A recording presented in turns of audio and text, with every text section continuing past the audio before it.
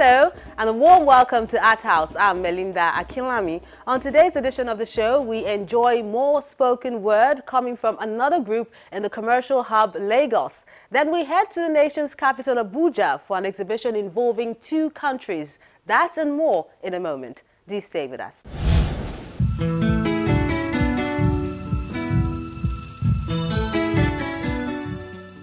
Even in silence, we are living our stories.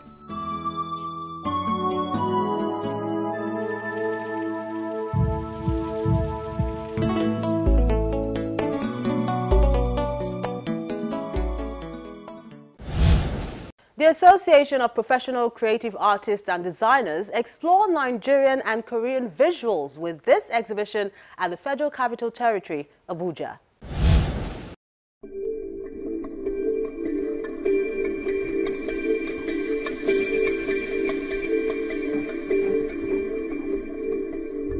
The Korean Exhibition Hall is where creatives from two continents are exploring Nigeria and Korea visuals in over 60 works of art that include paintings, sculptures, and designs. We are hosting an exhibition that has to do with intercultural exchange between the Republic of South Korea and the Federal Republic of Nigeria. APCAD represents the Federal Republic of Nigeria, while the Korean Cultural Center represents the Republic of Korea. So we are exhibiting along with them. They are showcasing their arts, their masks, the fashion.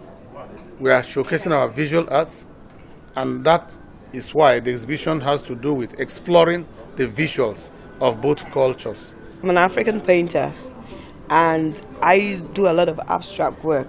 So the, the, the African thing in it, the fabric brings in the African thing in my work. So underneath every of my work, I have a lot of works. You notice that I have um, a bit of fabric in them. And um, the essence of that is also to kind of promote our culture. And that's why we're doing this Korean, Nigerian thing. It's kind of trying to promote our Nigerian culture. This is our first step of this exhibition. I know very soon we're going to do more.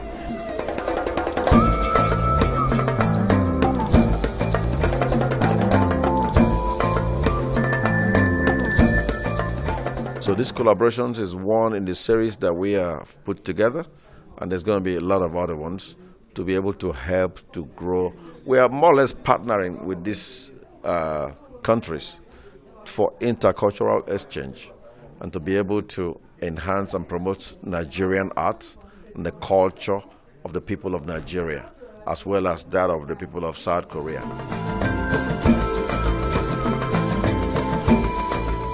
Over the years, Korean artists have developed a unique style seen in their simplicity, and the Oriental culture shines on, but that is not in short supply in the pieces the Nigerian artists are showing.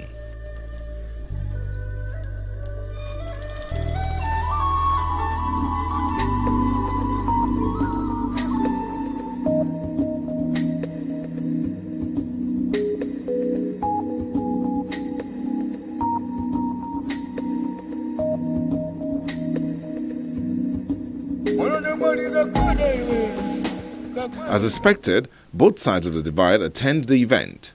While the Korean visitor gazes in awe at the details, her Nigerian counterpart is not content with admiring these works. She chooses to capture it on her device. Well, if you notice here, we have a lot of young artists. Some of them, some some of them, some uh, school leavers who just graduated from secondary school. We have two of them uh, beaten. We have taken time to try to support and encourage them to be part of the growth that we are trying to build. I made this work during the elimination of violence against women, and the theme is Orange the World. And uh, when I was working on it, uh, the pain a woman feels came into my heart, and that was what I displayed in my work. Then this is life choices, and what that means is you have the right to choose what you want to be or how you want to be in life. So you have different things happening in the world, different things happening in your life, different things happening in your environment. The artists explore an array of topical issues. Some of them talk about restoring the Nigerian identity, which for this artist is going down the drain. Our forefathers, they handed over our culture to a particular group of people. You understand? But I discovered that these generations, they've gone out, you understand, to uh, explore other culture that is not of us.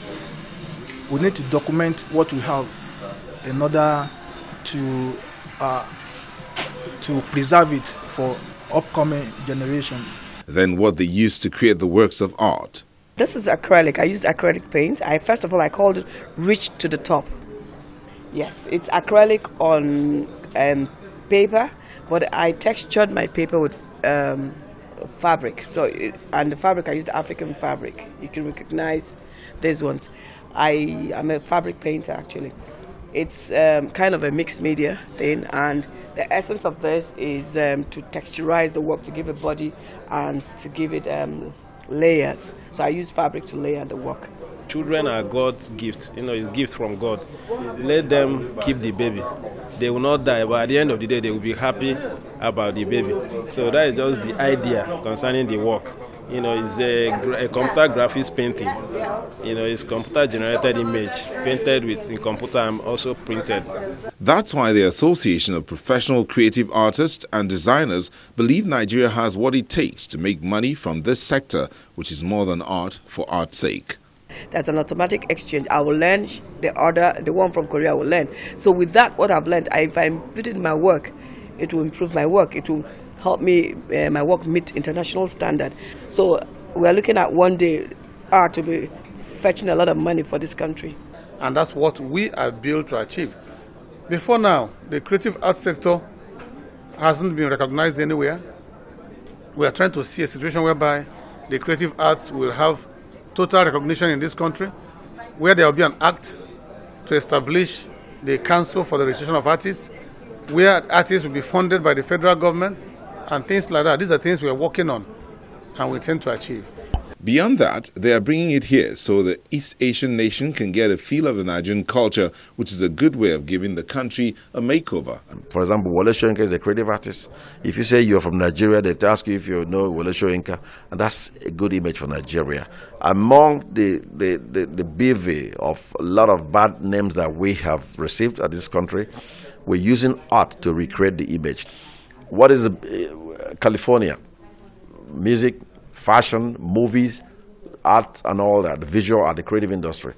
That is the way forward. And the creative industry builds the creative economy. The creative economy is embedded in the culture of the people. It is the culture of the people that be, that that helps to discover the root of the people. You can actually gauge the origin of the people based on their culture, based on the evolutions of the artwork that emanate from there. And the fact that African art has become a toast for the world going by their numbers. One of the major tenets of this association is to create an environment where the Nigerian art will contribute to the GDP of the economy. And in so doing, create employment, wealth generation, and help budding artists, especially those who are just growing, to be able to produce more works, make more money. And it's going to assist them as well to have self esteem, self recognition. And then they will be among those that will say, Yes, I did a good job by being an artist. Just like you have in Europe and other parts of the world, people are so comfortable to say that they're artists. So it should be the same thing here. That's what the association is striving to achieve. If you look at um, the, the British expedition of the Benin expedition of 1790, a lot of over 6,000 artworks were carted away from Africa. These artworks historically are more valuable to the Van Goghs and to Picassos of today. If an artwork that is made in the 1900s will sell for five, four million dollars, if you multiply 6,000 works taken from here by the colonial masters uh, in today's ratings, we're talking about over 40 trillion naira. The works of artists from Africa today is the new way to go. The, the current market price of artworks today is shifting towards the value of African art. Today we sell artworks from Professor El Anatsui, who is a Ghanaian artist, a professor uh, at Nsukka. His work uh, called the New World Map sold for 600,000 pounds. The shimmering bottles from him as well sold for 1.2 million pounds. the home of the real original artwork is Africa. Nigeria is a hub of artworks, and we are ready and ready to collaborate with whoever is available there to help to boost the artwork of Nigeria. The South Korean and Nigerian PCs sharing the spotlight can be likened to a partnership that works, given the right atmosphere.